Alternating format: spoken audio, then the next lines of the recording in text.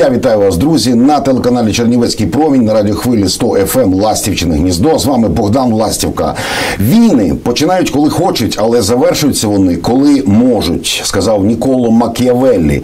Якби думки і сили людства перестали витрачатися на війну, ми б за одне покоління змогли б покласти край злидням у всьому світі. Це вислів Бертран Рассел. Ну, взагалі, якщо ми не прикінчимо війну, то війна прикінчить нас, сказав колись Герберт Уелс. Я не можу з ним не погодитись, тому я запросив сьогодні в гості нашого друга нашої програми. Він колись був у нас в ефірі. Це актор та режисер Донецького театру юного глядача, переселенець, учасник АТО, який щойно демобілізувався. Його звати Карен Гамбарян. Карен, доброго дня. Добре. Е, Дякую, що прийшов.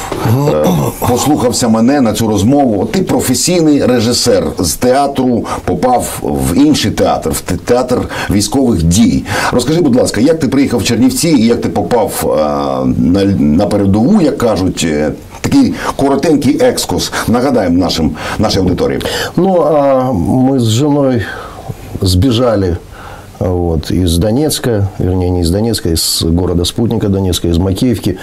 В 2014 году, в ноябре, когда уже стало ясно, что, в общем-то, ну, как бы а, хорошо все это не закончится, а, вот, мы переехали, ну, и выбор пал на Черновцы, потому что мы здесь выступали как-то вместе с группой на 601-летие города, а, вот, и город понравился, и архитектура понравилась, и люди понравились, поэтому как бы, у нас было несколько городов, куда мы как бы собирались, ну, и приглашали нас там от, от Израиля до Германии, вот, ну, как бы не хотелось из Украины уезжать, и вот э, жена просто говорит, как тебе Черновцы, я говорю, ну, город как бы понравился, а там уже посмотрим.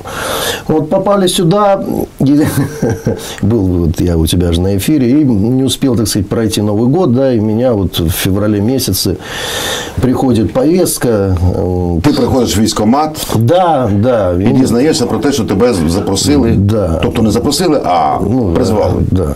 И 11 февраля я на призывном пункте в Ровно, в учебку, и пошло и поехало как бы дальше. Як пішло і поїхало? Ну, как пошло И поехало? Тяжело, конечно. То есть, это же еще воспоминания о срочной службе. Ти знаєш, ти як творча людина, я би так трошки поставив, ну, змінив нашу тему. Тема то трошки додати художнього такого 15 місяців АТО.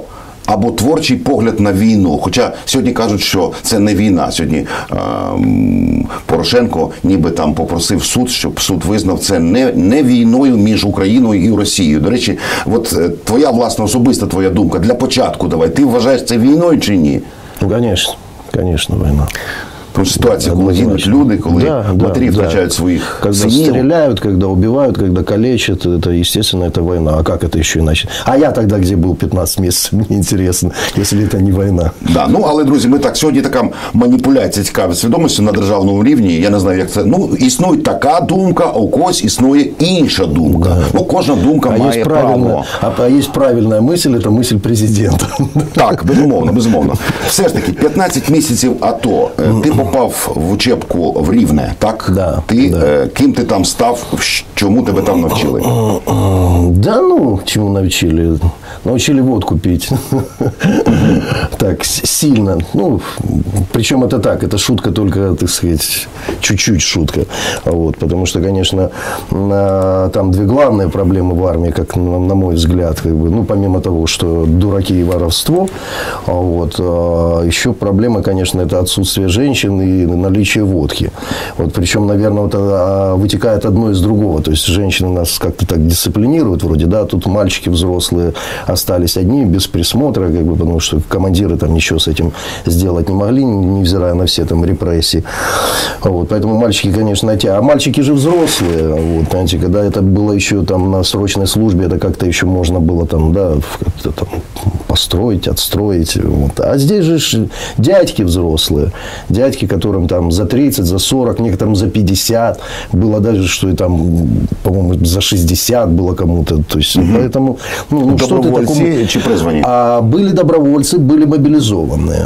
Вот. Тут как бы я процент даже не возьмусь, так сказать, э, кто, кто сколько, кого сколько. Но как бы и, и те, и те были. Вот. Поэтому люди, конечно, разные. Плюс люди э, из разных э, социальных слоев, люди разных возрастов. Ну, то есть, поэтому вот э, э, изначально подбор, такой, такая-то разношерстная была команда. Вот, що... А так, такою командою тяжко керувати, мабуть. Як вас да. зустрів командир вперше, коли ви приїхали після учебки в Рівному, уже на лінію фронту?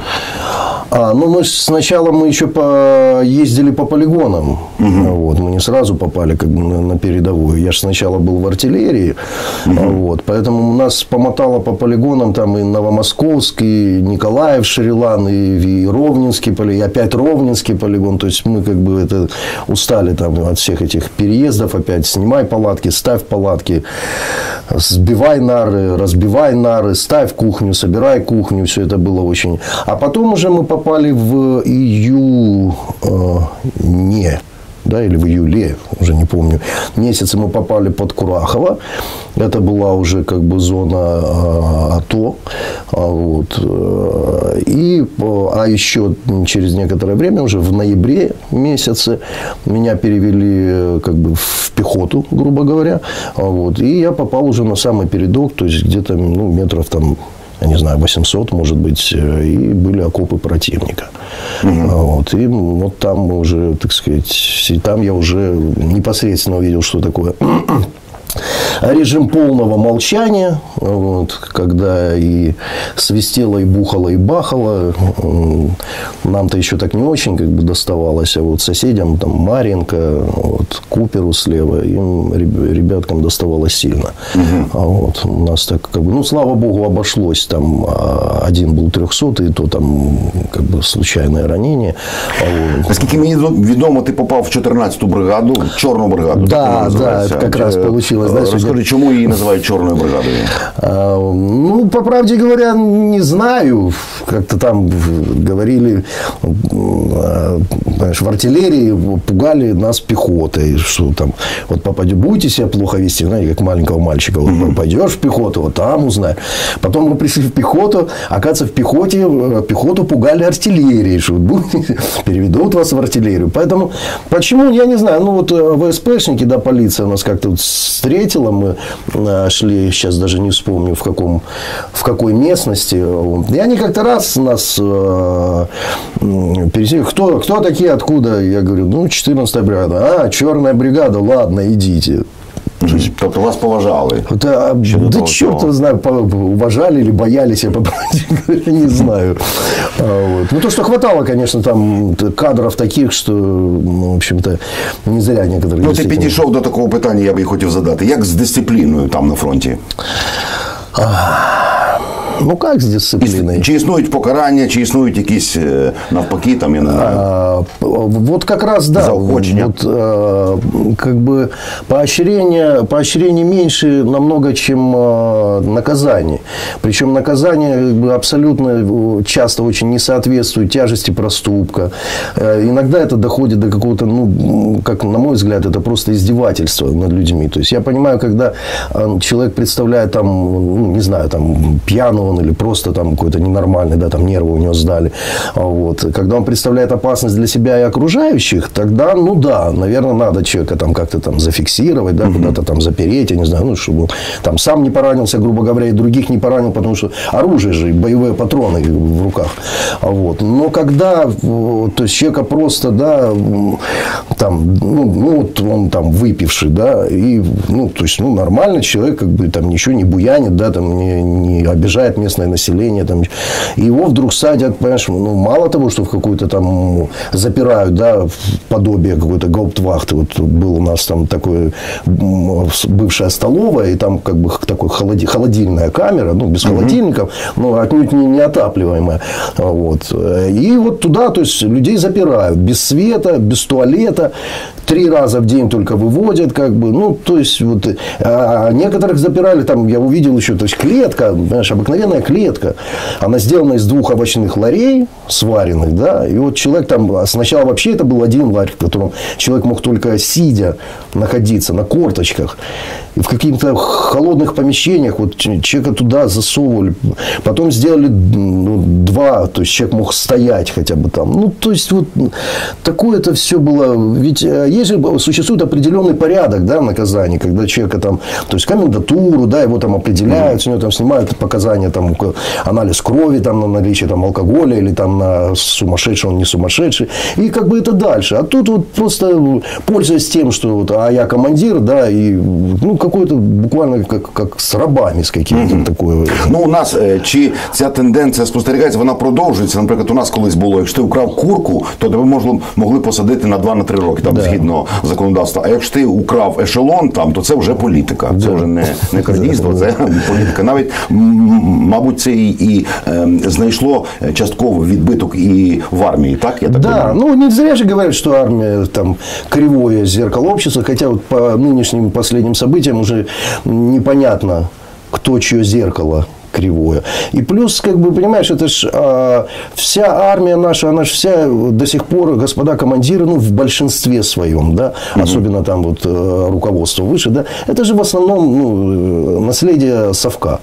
Угу. То есть, и вот это отягощенное войной, да, не понимая, они же никогда, как бы, да, не, то есть, если еще полевые командиры, да, которые непосредственно принимали участие в боевых действиях, там в основном люди, как бы уже, там, даже если у кого-то было что-то в голове неправильно, да, оно все равно вернулось, ну, то есть, человек переключился, он понял, когда гибнут люди, да, когда калечатся люди, то есть, человек вдруг понял, что вот, вот солдат, и от него зависит твоя жизнь как командира. От него зависит выполнение боевой задачи, будет ли, так сказать, будут ли целы, опять-таки, в конце концов, или полягут все на месте. От скажи, будь ласка, яке в тебе пояснення наступному? Чи ми вже більше року фактично фактично стоїмо на одному місці приблизно ні туди, ні сюди не рухаємося. Тобто лінія фронту, як кажуть, вона зараз називається лінією розмежування, вона стоїть на одному місці. Твоє власне пояснення? Да не знаю я, Богдан. Все это очень напоминает просто заколачивание денег вот, с, для Министерства обороны, для каких-то подрядчиков, да, которые там вот те же сухпаи поставляют, те же там спальники какие-то. То есть все это, это же очень такая война, это очень выгодная вещь для кого-то. Тобто можна сказати, що корупційна складова існує? Да, конечно, конечно. Она, она там везде чувствуется. А вот у меня там какие-то там документы, ну это же видно просто. Скажи, такий традиційний, може, таке традиційне питання. Різниця між військом українським півтора року тому, наприклад, коли ти прийшов тільки, так, і сьогодні. Чи є різниця і в чому вона? Ну, я могу говорить, опять-таки, видишь, только по, исходя из нашей 14-й бригады. Угу. То есть, ну, есть, есть, конечно. Есть. Во-первых, у людей опыт, да, которые, то есть, пришли люди, они опыта все-таки набрались. Вот, какого-то там, то есть, опыта э, жизни, опыта выживания, жизни вот в этих там блиндажах, в, на нарах, все это в холоде, в сырости. То есть, это еда, эти, эти бани, эти туалеты, понимаешь. Естественно, люди как-то... Ну, и, и, соответственно, люди вдруг начали понимать э, ценность простых вещей. Я вот хочу сделать, я там э, снимал на камеру материал, именно вот быт, как бы, да, и хочу сделать такой э, клип под музыку белорусских авторов, он так и называется «Простые речи», «Простые вещи». И вот люди начинают понимать, что есть вещи, которые гораздо более ценнее чем, э, ну, грубо говоря, там какие-то материальные блага. Что есть вещь, что а, с людьми свое «я» нельзя ставить выше всех, потому что рядом с тобой тоже люди, от которых опять-таки зависит как бы, твоя жизнь в том Такие числе. Же, как ты. Да, Такие да. сами люди. То же угу. самое, и как бы в, ничего хорошего, если ты будешь по, в, в антагонизме к своим сослуживцам, ничего хорошего из этого не получится.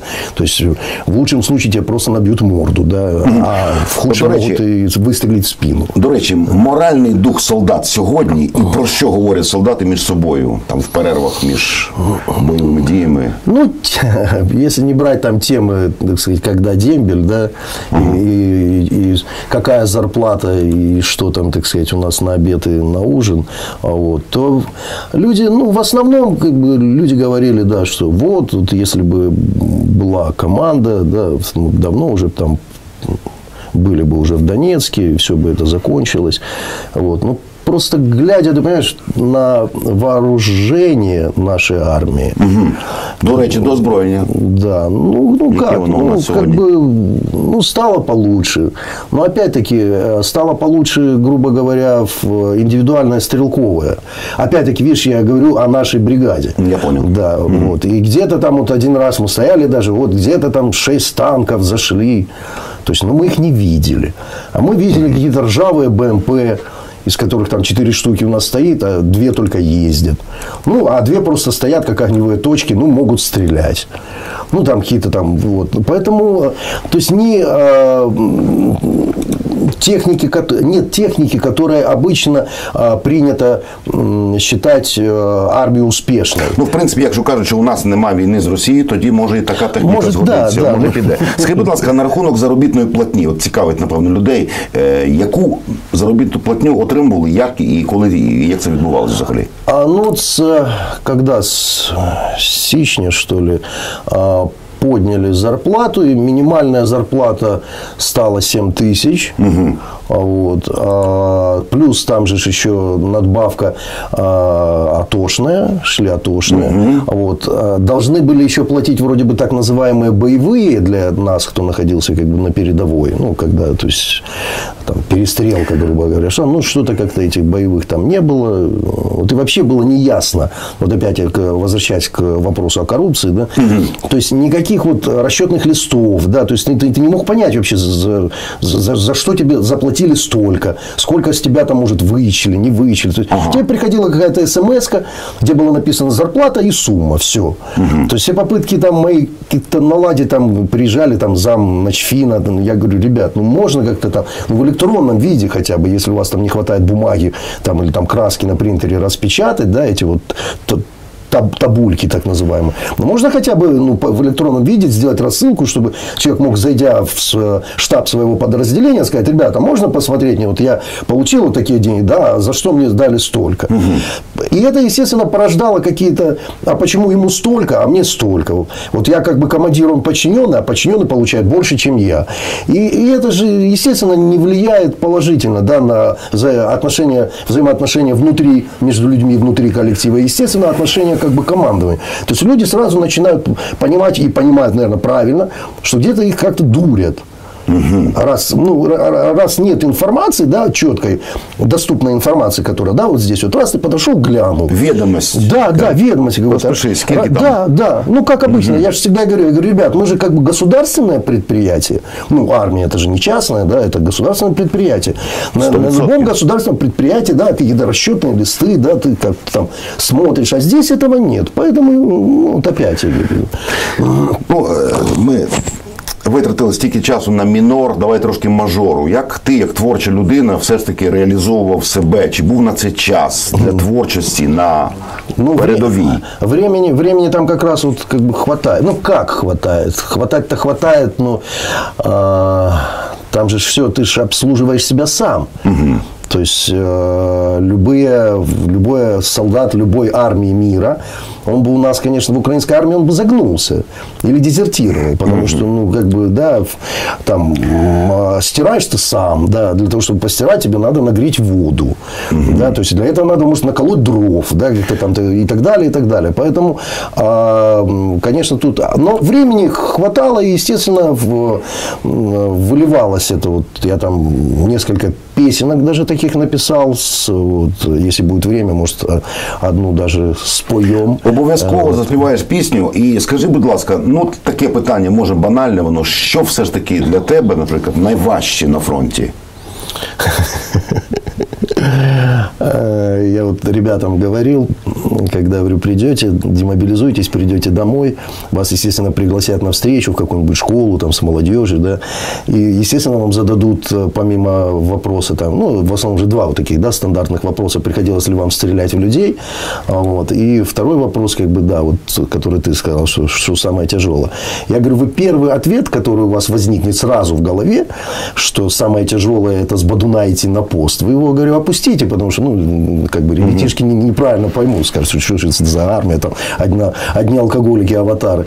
А вот я говорю, второй вопрос, в смысле, второй ответ на этот вопрос, я говорю, вы можете озвучить, потому что, э, ты знаешь, вот если не брать, как бы, вот э, такие высокопарные, ну, ну, правильные, но, как для меня, высокопарные ответы, там, что это самое там, тяжелое, это там, остаться человеком, не звереть, там, самое тяжелое, там, то, э, если, так сказать, на бытовом уровне, то самое тяжелое, извини, это когда хочется по-большому, а ты в бронежилете, в, с автоматом, в каске, в окопе, и идет дощ.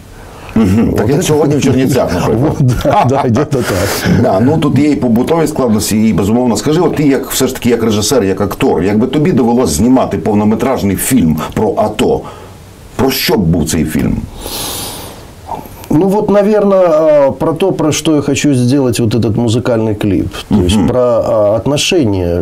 Потому что, понимаешь, ну как бы вот война, про войну-то снято много, именно про бойню, да? Uh-huh. Вот. И, и, а правду мы починаем тільки зараз дізнаватися сня... про Велику Вітчизняну, наприклад. Да, да, частенько бывает так. Вот. Но а, тут уже столько как бы снято и про отечественную, да, и про афганскую, там, и про, про, все, про все войны, что и лезть в этот пантеон, еще раз что-то там туда. Я думаю, а вот э, э, про быт не так много, про отношения людей внутри. Вот то, что происходит, так сказать, ну, как, как это в театре говорят, за кулисами, да, не на сцене театра боевых действий, да, а за кулисами. Вот это вот, вот про это бы я бы, наверное, Або, наприклад, я порівняв би взяти пісню Марка Бернеса «Б'ється в тесної печурки огонь». Да, да. Це вже розповідь про війну, да. причому глобальна, масштабна розповідь, але в такої в такій пісенній, я би сказав, мініатюрі, в такому короткому пісенному жанрі. От ми підійшли до пісні. Може, все ж таки, ми попросимо тебе виконати те, що ти одну з пісень, яку ти написав під час цього свого перебування на лінії вогню. Это получилось как? Значит, а, у нас еще в Ровно в учебке, ну, напихали ж нас, э, там, не помню, сколько нас было, ну, больше 40, что-то 44 или 46 человек. А у ребят было в палатке еще больше, они второй этаж на нарах били из нары второй этаж. Ну, нас было, ну, все равно, конечно, поворачивались по команде, грубо говоря. Mm-hmm. Вот. И вот мы как-то улеглись, вроде только там утолклись вечерком одним. И Борис, там, прапорщик, хороший парень, а вот. он так приподнялся на нарах, посмотрел вглубь палатки, он возле самого выхода спал. И говорит, вот, напихали, как сардин в банку. А я ему сказал, говорю, Боря, это не сардины, это шпроты, причем королевские. Угу. И как-то оно вот это вот королевские шпроты, оно в голове там что-то вертелось, вертелось, я ходил, ходил, и потом вот такую решил, ну, даже строевую, что ли, песню написать. Угу. А вот, а вот она так и называется, как бы, там, королевские шпроты, или просто шпроты. Такой. Чуєш уночі щось грізно гарчить, бачиш, он де полум'я б'є із труби, це дивізіон наш безстрашно храпить, і до шості ранку нам все до до звізди. Шпроти, шпроти, не морфолоти, не піхота, підставляй стакан, та гаф не лови, шпроти, шпроти, така у нас забота, ми усі у маслі, бандит без голови. queen. А коли своїми розчихляємо стволи, ворог без оглядки домами біжить, бо в наших орудіях такий калібр важкий, що земля і весь сортир дрижить. Шпроти, шпроти, не морфлоти, не піхота, ми артилерія, боги війни, шпроти, шпроти, така у нас забота, ми усі у маслі, бандит без голови.